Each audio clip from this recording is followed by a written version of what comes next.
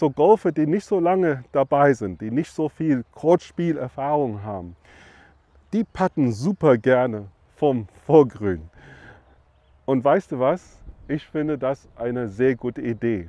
Wenn du zehnmal von hier äh, patten würdest vom Vorgrün, ich habe übrigens einen 20 Meter Putt, und wenn du zehnmal von hier chippen würdest, würde wahrscheinlich das Patten gewinnen.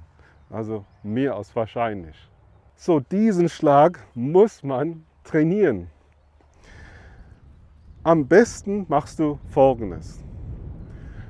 Bitte, auch wenn der Ball auf dem Vorgrün liegt, muss gelesen werden. So schaue immer das gesamte Grün an.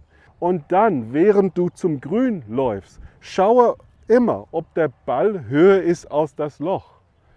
Wenn der Ball höher als das Loch liegt, dann spielt das Vorgrün sehr wenig äh, Rolle. Der Ball wird auch vom Vorgrün schnell rollen.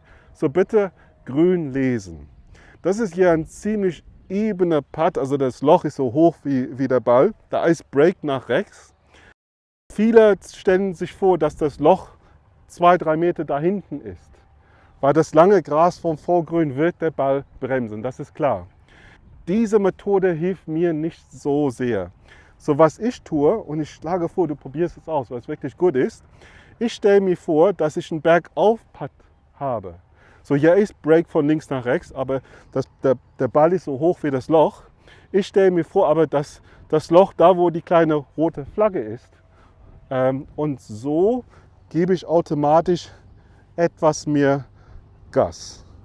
Okay, so ich habe einen Bergauf-Putt, das stelle ich mir einfach vor und patte dann etwas dolle. Komm mal, Break. Komm, komm, komm. So, bitte trainiere auch deine Putts vom Vorgrün. Das machen die wenigsten. Und wenn du das tust, verwende diesen Trick, an einen Bergauf-Putt zu denken. Und dann wirst du sicher etwas mehr Geschwindigkeit verwenden. Dankeschön.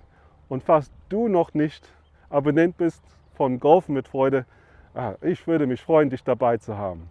Tschüss und bis bald.